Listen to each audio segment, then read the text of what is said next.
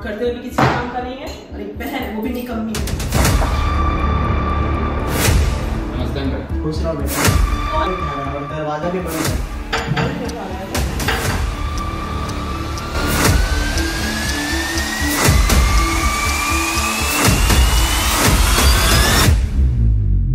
कचरा ही